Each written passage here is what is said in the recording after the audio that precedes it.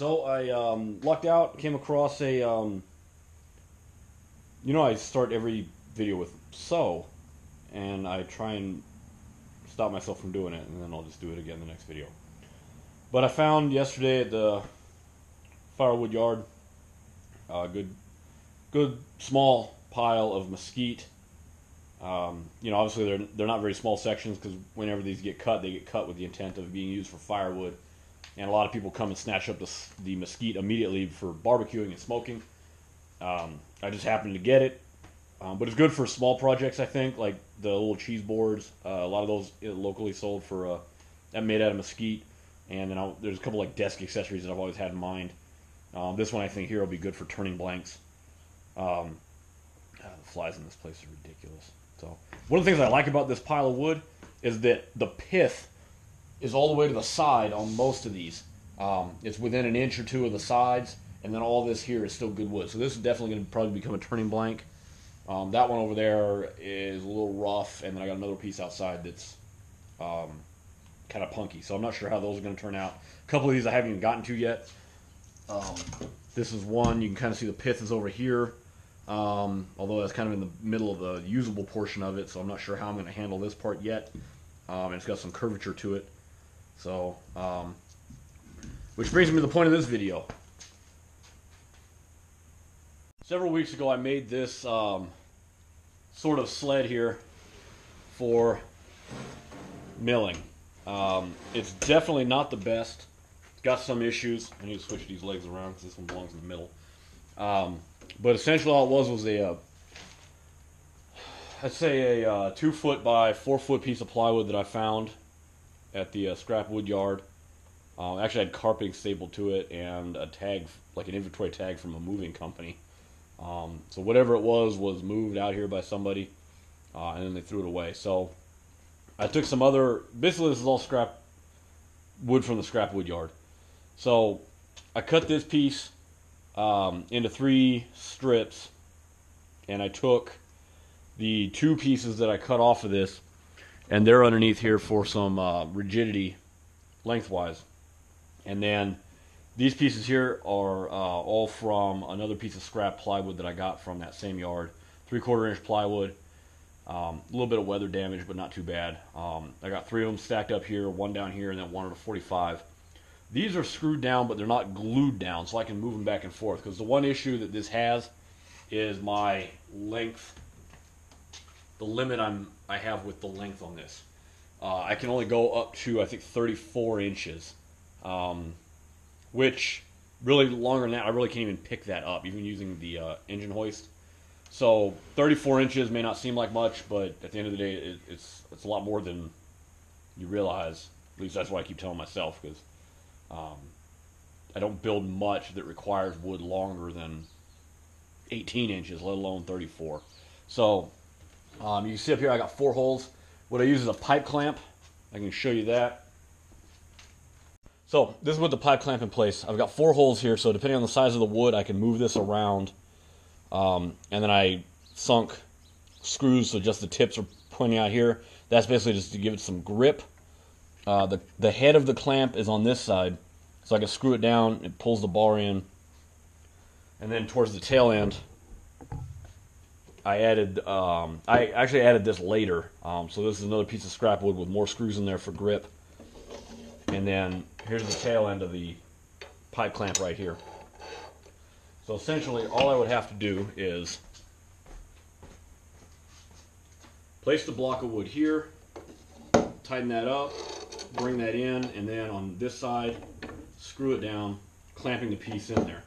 And then uh, this piece here is kind of a zero clearance concept, so I can line up the pith along this, and I know that it's going to come in contact with the blade where I want it to, and I can cut the pith out. And primarily the way I use this is I will take um, odd shaped pieces of wood, this one for example, and I can decide where I want to cut it. So this one here, when it's cut down, it's got very tapered edges. So um, usually what I'll do is I'll just put it up there, rip, uh, rip it square, or at least portion of it square, and then put it in here this way or this way or however I want to. This is going to be a really awkward piece of wood. Tighten that up, cinch it down, make a cut, and then turn it 90 degrees, rest it on that flat side, and then make another flat cut. I'll do that to all my rough cut pieces of wood. And then once I'm done, I'll get rid of the sled and I can just use the bandsaw table and fence itself. So once I have two square sides, one here and one here, for example, then I can just put it down here, bring the fence up, and then rip to whatever thickness I want. Uh, you know, one quarter, four quarter, or excuse me, four quarter, eight quarter, whatever I want, um, depending on the size of the wood and my vision. I really just kind of guess, really. It's just kind of whatever I feel like at the moment. So this is a really awkward piece of wood, so it's going to be interesting. Um, I'm probably just going to rip a flat side first and then um, cross cut the end. I said rip earlier. Cross cut the end um, and then rip that second side. So we'll see how this goes. One of the thing, uh, one of the issues that this design creates is it does get a little tipsy. I've got the rollers front and rear, um, but a lot of times when I'm loaded this up, it still twists a little bit, and I got to apply downward pressure on the bar to hold it in place. So that is one of the things I got to worry about with this. Um, and this um, blade is awesome. It is got a little bit of wear on there now and a lot of pitch buildup, which I have to take off and clean um, pretty soon. I cleaned it once already because um, it got real bad.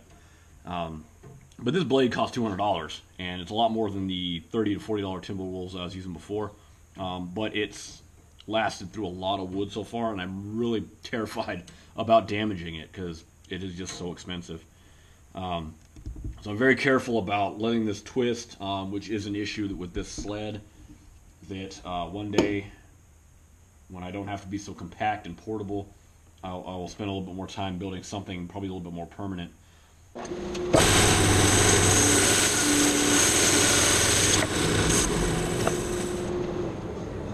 love the grain pattern.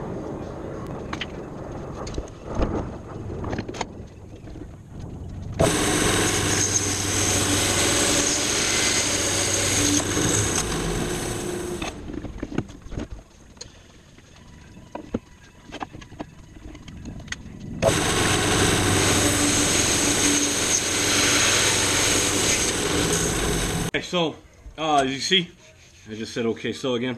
Um, I got two 90 degree, I got flat two flat faces that are 90 degrees from each other. So the remainder of the cutting on this, I'm not going to use the sled for. It's just going to be flat on the bed with the fence next to it, and then I'm, i can cut it there. And then um, this one is probably a really bad example for this video because the pith is about an inch away on this side and about an inch and a half away on the opposite side. So a pith goes through here crooked. Um, the usable portion is probably going to be over here for like you know small gadgets or something, but or, or you know from this section. But um, a lot of the ones I've been cutting so far, and ideally what I, what I shoot for, is to line that pith up along that line and cut along that line, which unfortunately would be like this, um, and it would just I'd get two wedges. Um, so some of these are going to be a little bit more challenging than others. Um, but that's what I'm shooting for is to cut either on the pith or just to the side of it so that my second cut is just cutting the pith out and I have all the remainder of that usable wood to pre uh, prevent all this checking that you see going on already. So it's still wet. Um, you know what? Let me get my moisture meter. So uh, let's see what this says. Wow.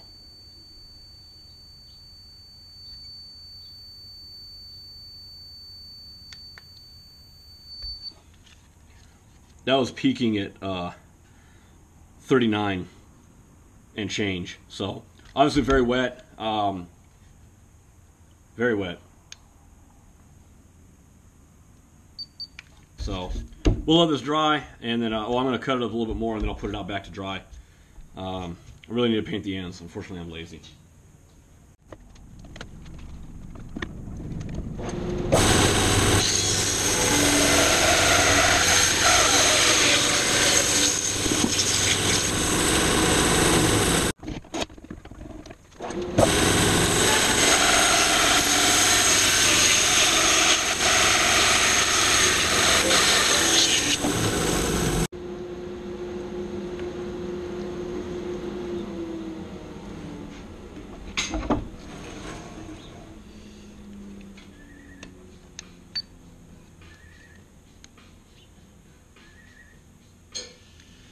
I grabbed this at the same time. This piece is considerably less moisture content.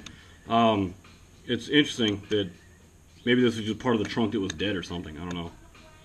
So now I got two. The side it's sitting on is square. This side square. So same piece here. Uh, that earlier cut here was basically just to knock that hump off because it wasn't going to clear the uh, bearings.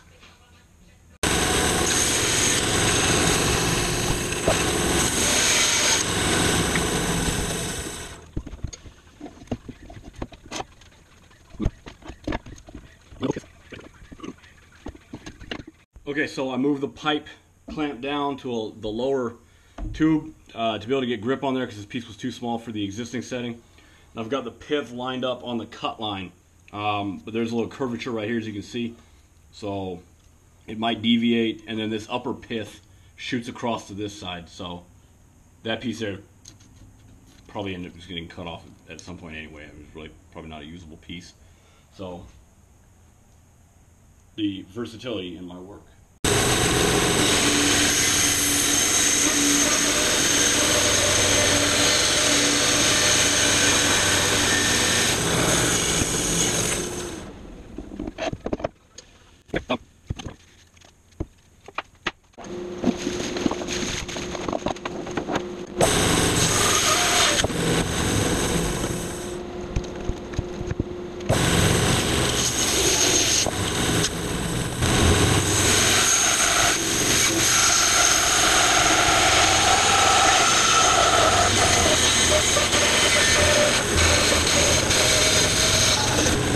pretty cool surprise. Um, you can see down here, it's got a lot of um, bug activity, kind of punkiness.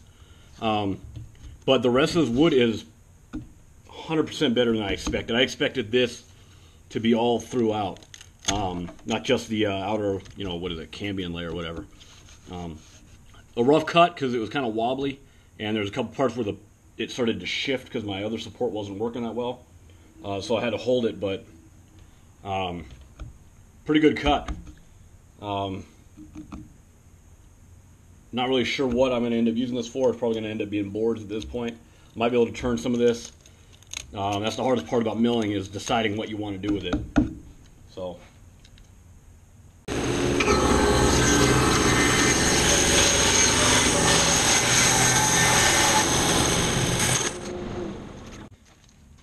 Okay, so I'm done with the sled for now. Uh, so now it comes down to just bringing the fence over and ripping this to whatever thickness I choose. So uh, now I have the ability to put my guard back into place. It's just a lot of blade to have sticking out.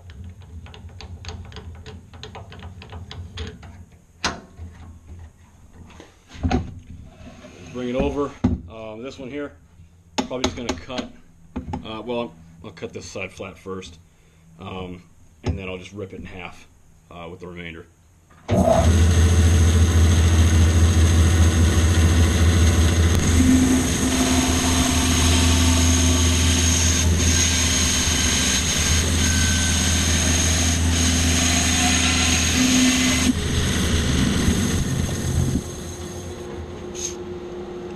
So that's three. I got one inch there, but then it's two inches on that side and one inch. So like I said earlier, it'd be a complete wedge.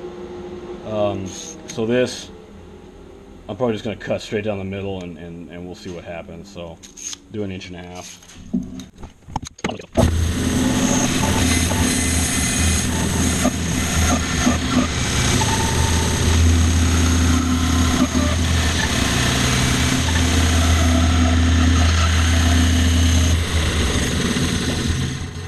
Okay, uh, so that's pretty much all I need to show you guys on this one, I think.